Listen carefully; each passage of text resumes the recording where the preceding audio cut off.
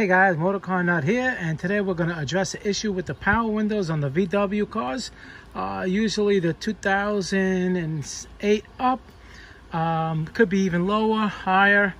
It's with the window when you open the door and when you close it, you see what it's doing? It's not going down. It's like a soft down so it can go inside and make a proper seal. When you close it, it's supposed to go down and then up. Okay, a couple of reasons for that. It could be the window, uh, the motor, an electrical problem, but most of the time, especially when you're disconnecting the battery, it would have to do a reset and relearn. And that's what this video is about. Okay, and this is for the uh, Volkswagens, like I said, the CC, the uh, EOS, uh, the Tiguan, um, a lot of cars, a lot, BMW, a lot of German cars are like this. And, and that's the problem. Okay, so what we're gonna do is we're gonna hook up the battery. Assume you got a good battery. I hooked up the battery. Now, went and look what it did. It jumped down.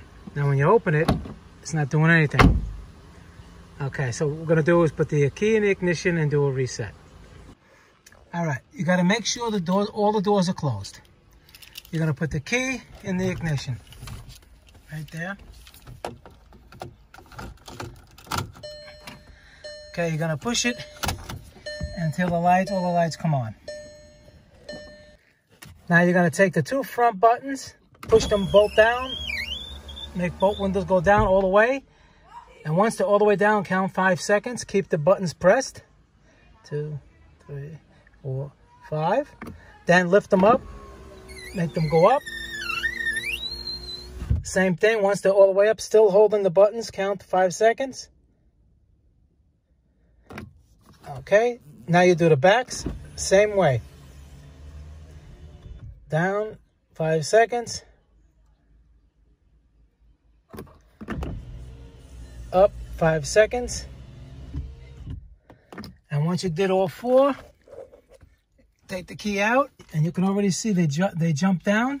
That's what they're supposed to do. Open the door. Okay, close it. And see how it goes up and they're all reset. Simple up, oh, you heard them all go up. They're all reset. And that's how you do that. I have a video, if you're having a problem with the um, sunroof, this one don't have a sunroof. I have another video on how to reset the sunroof. Sometimes it doesn't close or the shade doesn't close. There's a reset procedure for that one too. All right, guys, Motorcar Nut, please subscribe, hit the like button. If you learned something, please super thanks or supporting the channel. Any questions, leave them below. I answer all my questions, and I'll see you guys in the next video. Thank you for watching.